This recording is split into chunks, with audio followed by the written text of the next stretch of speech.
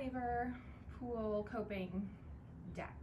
I have a pool deck that is cantilever coping over the well surround of the pool. So near the skimmer on a reverse radius, the deck is crumbling and falling into the pool. Is there a way to cut the old coping off and pour new cement there without draining the pool?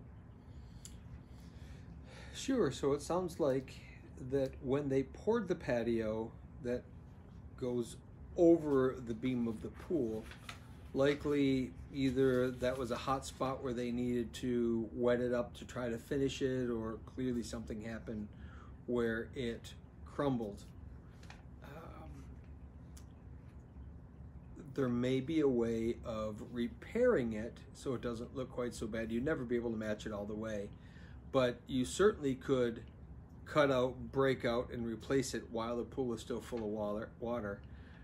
Again, even by replacing it, you're not necess- necessarily going to get it to match.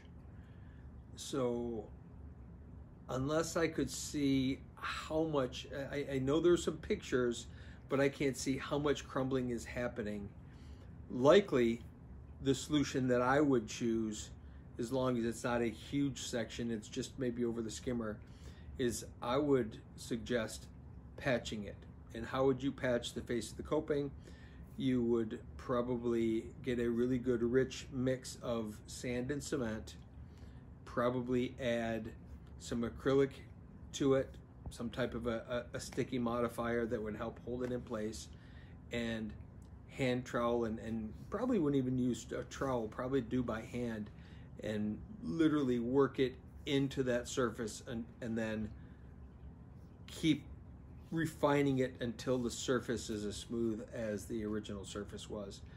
And it's it's never going to match 100%, but it would probably look better than replacing a section of concrete with brand new concrete because that will definitely not look like the rest of the patio.